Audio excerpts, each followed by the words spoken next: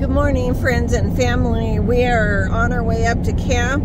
In this video, you're going to see the last bit of work that we're doing on the cabin floor.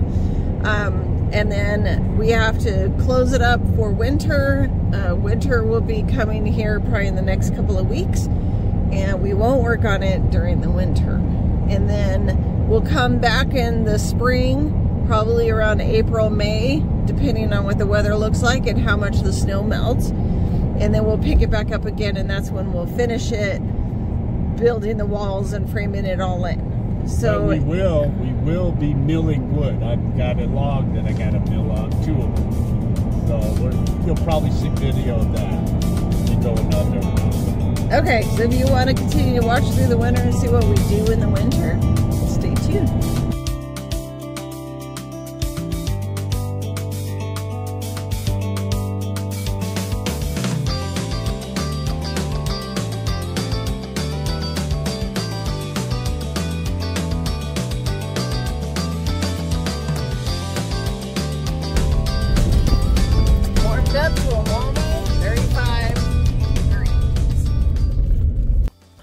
Camp and my son-in-law put up a game camera that caught a huge mountain lion. So we're gonna go and see what's on the camera. Hang on.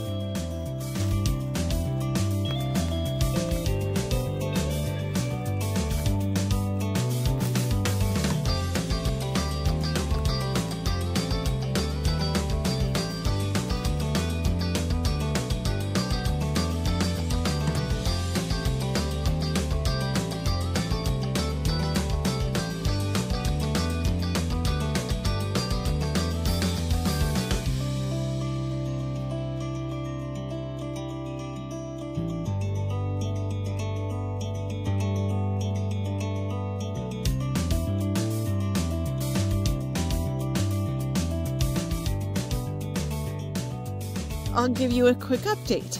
So we brought more gravel in, as you can see. That's all the way around the cabin um, foundation. We have the cabin floor built. And the beams are secured. So Duane screwed those in. And we're storing extra lumber underneath here. um, so some things that we're really happy that we did. So why did we build it like this? It's because the ground that we live or have here is very similar to the Alaska ground and the fact that it will heave, there's moisture in the ground. And so we had, we built it like this for two reasons. One, it'll move when the ground moves. And two, by building the beams on top of a pier, we can easily jack and level the cabin throughout the years. So all we have to do is unscrew this from the beam if ever needed and throw some shims in here um, if we need to. The floor is secured to the beams. And so this worked out really, really well building this. As you can see, the whole floor is decked Duane came back up um, during the week and finished it. His splinter update, by the way, uh, they tried to surgically remove it, but they couldn't get to it because of the angle. And then it moved. And so he had an ultrasound and they couldn't actually find it. We could feel it, but they couldn't see it. So they think it's super thin, like wafer thin, and his body will just yeah, take care of it he's finishing up his antibiotics. And so that's that. This, we are caulking the floor so to make it waterproof. We've painted it with an exterior paint. We're going to finish painting all the edges. We have to wait till it warms up because it's only 35. But we got cold weather paint. So as soon as it gets above 40, then we can start painting. We just have this little spot left. And so that's the plan for the cabin today. And then we have to button camp up for the winter. So Duane is sealing and caulking the bigger joints even though this will be sealed for the winter, we're just making sure the big joints are tarped for the tarped. It just painting the perimeter really quick. It's finally warmed up. Gonna take waiting for the caulking on top to finish drying. Then we'll put a, another coat.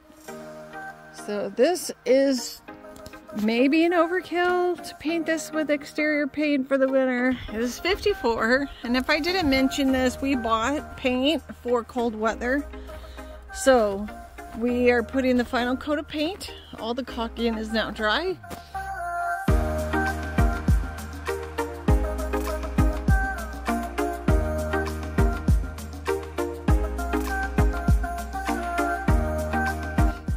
And then just to recap what we've done to get ready for the cabin, we brought in road cloth, which you can see the end of it right there. So there's road cloth all in here. There is three quarter minus. We brought in a compactor. We compacted it all. We poured footer forms, put in cinder block piers, concreted all the corners all the way around. We put some straps or like an anchor strap so that we can screw the beams to the pier to anchor them. We built the floor. The joists are made out of two by eight. Oh yeah, these beams are about eight feet apart. Those are closer, obviously. The joists are screwed to the beams. It's decked. It's painted with exterior paint. It was caulked.